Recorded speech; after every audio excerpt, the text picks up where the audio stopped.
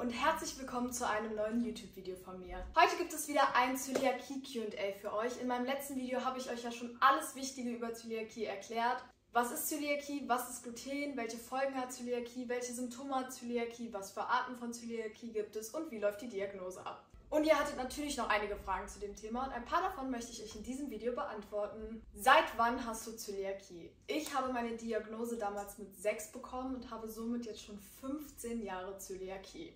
Wie lief deine Diagnose ab? Meine Diagnose hat sich leider echt sehr in die Länge gezogen. Es hat ein paar Monate gedauert, bis man dann herausgefunden hat, was ich habe. Ich war super oft beim Kinderarzt in der Notaufnahme, ich lag im Krankenhaus, ich habe sämtliche Tests mitgemacht und die erste Diagnose, die ich bekommen habe, war tatsächlich, dass es psychisch ist. Meine Eltern haben aber trotzdem auf weitere Tests bestanden und dann habe ich endlich eine Magenspiegelung bekommen und ein paar Wochen nach der Magenspiegelung kam dann die Diagnose Zöliakie. Kann Spuren von Gluten enthalten? Essen oder lieber nicht essen? Ich erkläre euch das Ganze jetzt mal. Das Produkt ist laut Zutatenliste glutenfrei. Die Firma sichert sich mit dem Satz, kann Spuren von Gluten enthalten, einfach nur ab. Weil zum Beispiel in der Firma auch Produkte mit Gluten hergestellt werden und sie sich nicht zu 1000% sicher sein können, ob da nicht vielleicht irgendwie irgendwann mal was kontaminieren könnte. Ich weiß, dieser Satz verunsichert sehr, sehr viele von euch, aber soll ich euch mal was sagen? Der Satz ist nicht rechtlich gesichert. Das heißt, die Firmen dürfen selber entscheiden, ob die den Satz draufschreiben möchten oder nicht.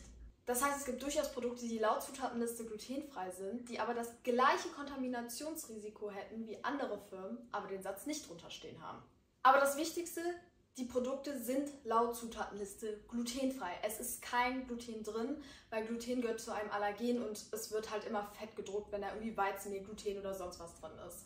Aber wenn man sich wirklich zu 1000% sicher sein möchte, dann darf man eigentlich nur Produkte essen, die auch als glutenfrei deklariert sind. Aber das wäre schon eine enorme Einschränkung, weil klar, es werden immer mehr Produkte als glutenfrei deklariert, aber halt noch nicht genug und ich glaube, das wäre dann wirklich, wirklich schwierig. Und kurz zu mir, ich esse Produkte, wo drauf steht, kann Spuren von Gluten enthalten und ich esse auch Produkte, die laut Zutatenliste glutenfrei sind. Gibt es Nebenerkrankungen neben der Zöliakie? Ja, es gibt so ein paar Erkrankungen, die in Kombination mit einer Zöliakie auftreten können. Wie zum Beispiel Diabetes Typ 1, Schilddrüsen- und Lebererkrankungen. Spürst du, wenn du Gluten isst oder tut es deinem Körper nur innerlich nicht gut? Tatsächlich spüre ich das nicht mehr unbedingt, wenn ich was Falsches esse und das finde ich auch echt nicht gut. Früher, kurz nach meiner Diagnose, habe ich wirklich jeden Krümel Gluten gespürt. Ich hatte sofort Magenkrämpfe, aber mittlerweile ist das tatsächlich gar nicht mehr so. Und ich bin ehrlich, ich wünschte, ich hätte wieder ganz normal Magenprobleme, wenn ich was Falsches essen würde. Ich hatte sogar mal eine Phase, da dachte ich mir, boah, du bist der erste Mensch, der von Zöliakie geheilt worden ist, weil ich halt kaum noch Symptome hatte. War natürlich nicht der Fall, weil wenn man einmal Zöliakie hat, dann hat man es sein Leben lang. Das ist tatsächlich auch der Grund, warum ich mindestens, wirklich mindestens zweimal im Jahr zur Blutabnahme gehe und meine Werte kontrollieren lasse, um mir einfach 100% sicher zu sein, dass es mir gut geht, dass mein Körper intakt ist, dass ich kein Gluten zu mir genommen habe.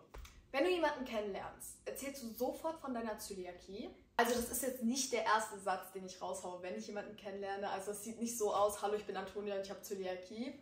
Aber meistens kommt das Thema relativ schnell auf, weil irgendwie, wenn man sich irgendwo kennenlernt, dann ist man was trinken oder es gibt irgendwie Snacks oder man hat vor, irgendwas essen zu gehen und dann erzähle ich es immer direkt.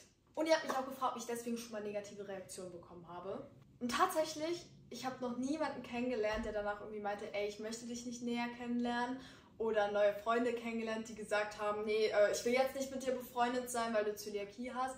Alle haben das wirklich super, super gut aufgenommen. Immer, wirklich immer. Bei meinen Freunden ist das so eingebrannt, sobald die im Urlaub sind oder irgendwo nur glutenfrei lesen. Ich kriege Bilder von glutenfreien Produkten, von Restaurants, in denen man glutenfrei essen gehen kann. Ich liebe das so, so sehr. Und auch meine bisherigen Partner kamen immer richtig gut damit klar. Das ist auch immer total lustig, wenn so neue Leute in mein Leben kommen, die das wirklich noch nicht kennen. Die sind dann am Anfang immer total überfordert und stellen total süße und lustige Fragen, ob ich denn dies und jenes denn essen darf oder nicht.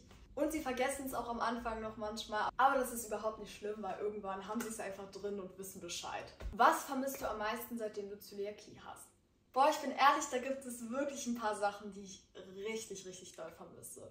Nummer eins, ich wohne halt in so einer Kleinstadt, wir nennen es halt immer Dorf. Und hier Essen bestellen mit einer Zöliakie ist schon eher ein bisschen komplizierter. Klar, so Kleinigkeiten wie den Salat findest du überall und es gibt auch so ein, zwei Restaurants, wo man gut bestellen kann. Aber manchmal hat man ja auch einfach Bock auf so eine richtig fettige Pizza und das wird dann halt auch wieder schwierig und das vermisse ich total. Einfach mir zu denken, okay, komm, kein Bock zu kochen, ich bestelle mir jetzt einfach irgendeine richtig geile Pizza oder ein geiles Pastagericht und esse dann einfach hier bestelltes Essen, Leute. Das vermisse ich so sehr. Zweitens, ich vermisse den Bäcker, Leute. Wirklich, ich weiß einfach, wenn ich Gluten essen dürfte, ich würde so viele Backwaren essen. Ich merke es ja jetzt schon, dass ich halt super gerne esse, aber ich muss es halt alles in glutenfrei essen.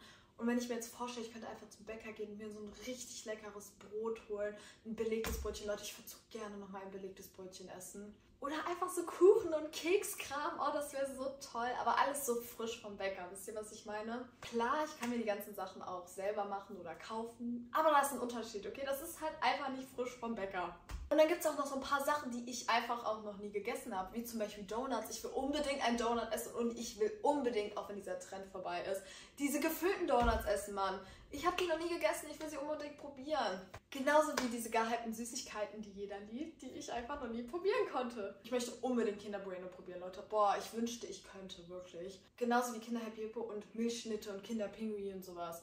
So Keksteig, ich will Keksteig löffeln, okay? Ich möchte Ben Jerry's Eis essen, okay? Ich möchte einfach Ben Jerry's Eis essen. Subway Cookies. Jeder liebt Subway Cookies. Warum liebt ihr Subway Cookies? Ich weiß nicht, wie Subway Cookies schmecken. Ja, das sind so ein paar Kleinigkeiten, die man halt einfach vermisst. Also ich komme richtig gut mit meiner Zwiebelkie klar und 90% der Zeit bin ich auch sehr happy und mir geht es gut. Aber zwischendurch, da vermisst man dann schon so ein paar Kleinigkeiten. Backst du selber Brot? Ja, ich backe ab und zu selber Brot, aber damals, als ich meine Diagnose bekommen habe, haben wir super viel selber gebacken.